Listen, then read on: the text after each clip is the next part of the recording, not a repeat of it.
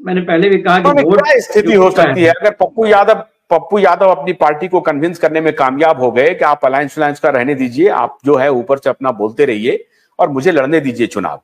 Alliance को बरकरार रखिए। हमारे नाम पर अलायंस टूटेगा नहीं। इस तरह से प्लान करके रहिए और बोलिए कि भाई हमारे हमारा आदमी नहीं मान रहा है। और ये निष्कासन भी नहीं हो। आप बयान दीजिए कि पप्पू से नाराज़ हो गए आला कमान ये कमान ऐसा कुछ चलेगा। लेकिन अगर ये पप्पू यादव कन्विंस करने में कामयाब हो गए कि हमें यहाँ लड़ने दीजिए और कांग्रेस भी चाहे कि अंदर खाने की पप्पू लड़े चुनाव क्योंकि लड़ने से कुछ तो बेस बढ़ेगा कुछ तो बात बनेगी क्योंकि अब वो कांग्रेस पार्टी के नेता हैं। तो ये मामला तो वो बहुत फंस जाएगा। आपको लग रहा है कि पूर्णिया का चुनाव फंसेगा? और अलायंस पर भी कुछ असर पड़ सकता है। पूर्णिया का चुनाव अलायंस पे तो असर पता नहीं कितना पड़ेगा क्योंकि अलायंस में कांग्रेस के पास बहुत ऑप्शन नहीं है। तो लालू जी इसमें टर्म्स को डिक्टेट करेंगे। कांग्रेस उससे निकल भी नहीं सकती है अलायंस से मुझे लगता है। पूर्णिया के चुनाव पे ज़रूर असर पड़ेगा कि वहाँ से फिर एक बार भाजपा जीत जाएगी।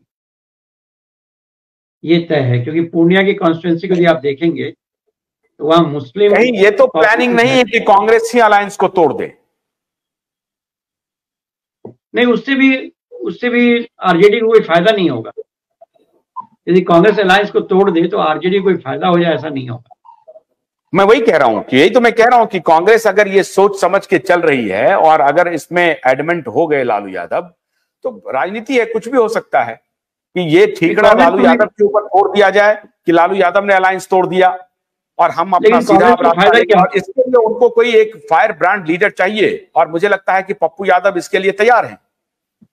नहीं, ऐसा मुझे नहीं लगता है कि पप्पू यादव ऐसे लीडर हैं कि कांग्रेस में वो राज्य स्तर के नेता हो जाएँगे। वो समय उनका गुजर गया। पप्पू यादव, अब देखिए ना, एक एक कॉन्स्टिट्युएंसी के लिए वो लड़ रहे हैं। अपनी पार्टी का विलय किया उन्होंने और एक कॉन्स्टिट्युएंसी के लिए नेगोशिएट कर रहे हैं। तो वो कोई फायर ब्रांड नेता रह नहीं गए एक बात तो मानना पड़ेगा आपको कि पप्पू यादव में कम से कम एक बात तो है चाहे जैसे भी हो अपनी पार्टी को इतने दिन तक चलाया है उनके पास एक कार्यकर्ता डेडिकेट कार्यकर्ता की बेस है। वो ठीक है उस बहुत लंबा नहीं है कोई बहुत बड़ा नहीं है लेकिन एक क्रिटिकल मास उनके साथ है। एक फॉलोइंग भी है। नहीं है एक एक सेक्शन है लेकिन वो क्रिटिकल नहीं है। वो इतना बड़ा नहीं है कि आप उसके सहारे जीत जाएँगे। वो एक समय हुआ करता था उस समय पहले। जब उनके पास एक क्रिटिकल मास था यूथ का एक क्रिटिकल मास हुआ करता था अब मुझे नहीं लगता उनके पास कोई क्रिटिकल मास है। अब उनके पास जो है अभी तो कांग्रेस के सहारे की ज़रूरत पड़ रही है। कांग्रेस को इसमें नुकसान क्या है कि पप्पू यादव को सामने रख करके अगर कांग्रेस अपने बेस को थोड़ा सा बढ़ाना चाहती है या आगे ले जाना चाहती है तो इसमें कांग्रेस को तो कोई नुकसान है नहीं क्योंकि कांग्रेस के लिए तो कुछ हो नहीं रहा है कोई सीट मिलने जा नहीं रहा है कांग्रेस को वहाँ पे। नहीं कांग्रेस ने अभी यदि आरजेडी को छोड़ दे तो कांग्रेस को मिलेगा क्या? जो भी सीट जो भी थोड़ा बहुत परसेंटेज ऑफ़ वोट मिलना है राष्ट्रीय पार्टी बने रहने के लिए वो परसेंटेज भी घट जाएगा उनका। आरजेडी के चलते कांग्रेस को एक अच्छा खासा परसेंटेज ऑफ़ वोट मिल जाएगा। लेकिन आरजेडी लगता है नुकसान हो सकता है। आरजेडी को भी नुकसान हो सकता है क्योंकि अगर मान लीजिए कि कांग्रेस ने मुस्लिम वोट बैंक में सेंधमारी कर दी कर दी अगर तो मामला पलट सकता है। कुछ तो होगा ही संभावना नहीं है। उसकी कोई संभावना नहीं है। बिहार में मुस्लिम वोट बैंक में कांग्रेस के द्वारा की जाने वाली सेंगमारी की कोई संभावना नहीं है। कांग्रेस ने कोई काम भी नहीं किया ना उस तरह से अभी तक। जो लीडरशिप है कांग्रेस का जो मुस्लिम लीडरशिप है यदि उसको नर्चर करते उस तरीके से वोट तो उस तरह से चलता नहीं है। अब मुझे लगता है मनीन जी। इसको भी देखना पड़ेगा कि राष्ट्रीय स्तर पर क्या ट्रेंड चल रहा है। कौन उसका नेता है जो उनको प्रोटेक्शन दे सकता है? और चूँकि ये लोकसभा का चुनाव है अगर राष्ट्रीय स्तर पर कांग्रेस के नेता ये समझाने में कामयाब हो गए कि आप आइए तो बाकी लोग भी हमारे साथ हैं तो हम दो चार सीट एक आध दो सीट हम निकाल लेंगे तो ऐसी स्थिति में जो मोदी को वोट जा रहा है अगर वो टर्न कर गया इनके ऊपर तो मामला पलट सकता है। नहीं नहीं नहीं मुझे नहीं लगता क्योंकि दस सीट तो इनको मिला ही है तो ऑलरेडी ये जूनियर पार्टनर है ही वहाँ पे। उनको लेके कोई ऐसी दस सीट पे इनको मुस्लिम वोट ज़रूर मिल जाएगा। लेकिन ये वो मुस्लिम वोट आरजेडी के खिलाफ किसी को चला जाएगा, इसकी संभावना बहुत कम है। जहाँ आरजेडी आरजेडी मज़बूत है, वहाँ पे आरजेडी के साथ जाएगा। उसमें कोई शक की गुंजाइश नहीं है।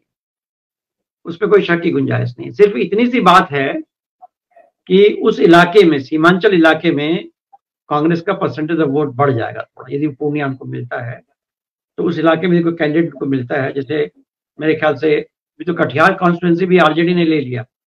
कटिहार कॉन्स्टिट्यूंसी पहले तारिक अनवर खड़े होते थे। अभी सुना है कि उस पर भी बहस चल रही है।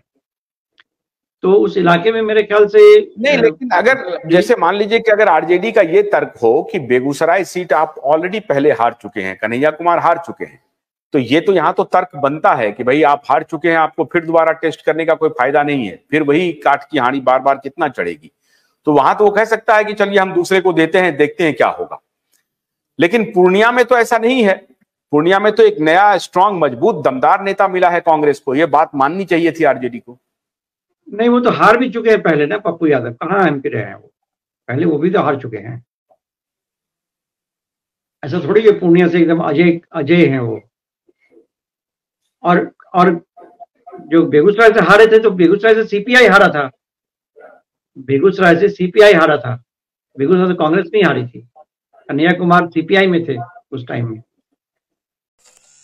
गन्ने की कड़ी बुनियाद जिसे मराठी में खुडकिया और कुछ उत्तर भारत के क्षेत्रों में खुटकी भी कहा जाता है, उसे केवल भोलानाथ का two in one battery operated harvester, cum brush cutter आसानी से और बिना रुकावट के काट सकता है।